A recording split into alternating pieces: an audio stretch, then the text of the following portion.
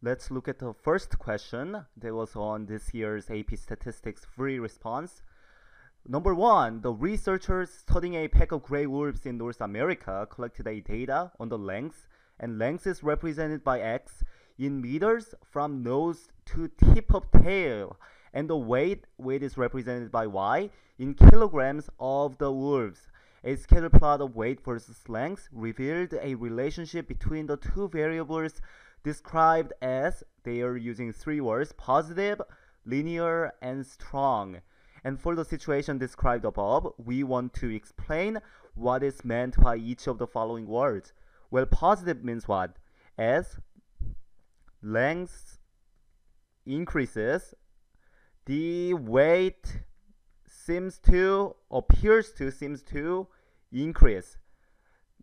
Oh, that's what it's mean by positive. As length is going up, the weight also seems to be going up. As length is going this way, weight seems to be going this way. What does it mean by linear? Well, this means the relationship between length and weight can be represented represented by a straight line with constant slope. So it's telling you the how it's distributed can be can be represented by a straight line or by linear regression line. The strong means what? The relationship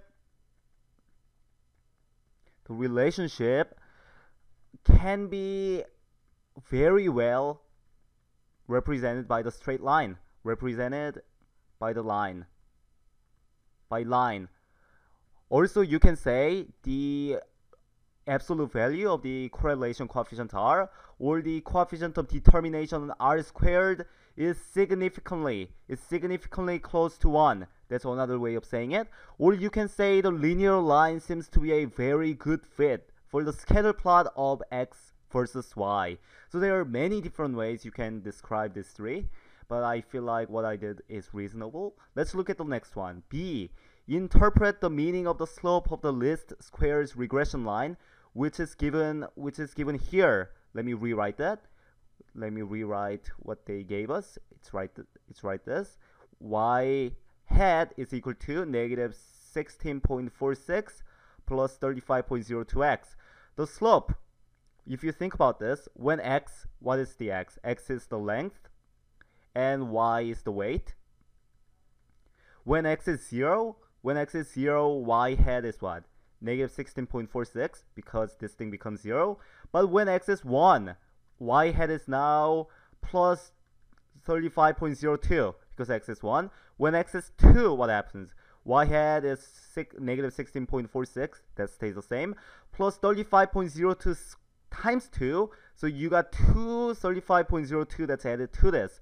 So easy way to interpreting the slope is by saying when length increases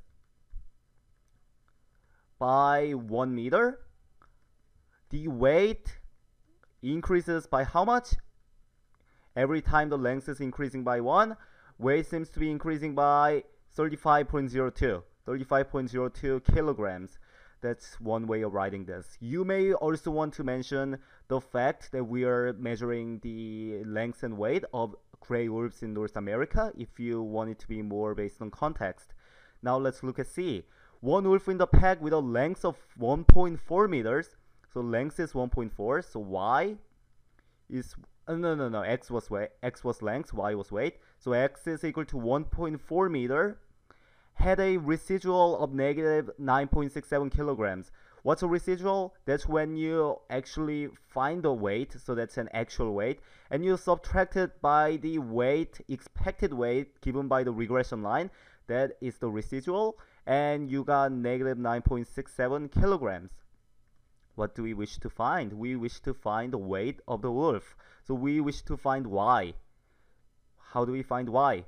Well, if you look at this, you know y is equal to y hat minus negative minus 9.67 just rearranging rearranging this and we also know they gave us y hat is negative 16.46 plus 35.02x so we can plug this in negative 16.46 plus 35 0.02x. That's y hat. And you want to subtract 9.67. And what do we know? We know the x. So we can plug this in. Negative 6.46 plus 35.02 times the x, which is 1.4 minus 9.67 gets us what? Let me plug this in into my calculator.